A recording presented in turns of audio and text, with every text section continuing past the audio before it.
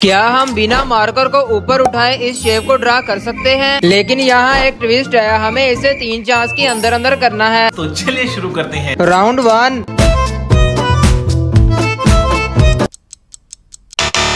दोस्तों ये तो बहुत ज़्यादा मुश्किल है। Round number to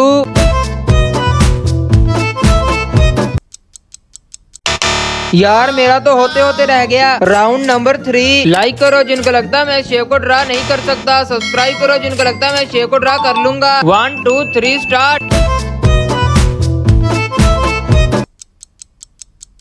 oh yes मैंने इसे कर दिखाया।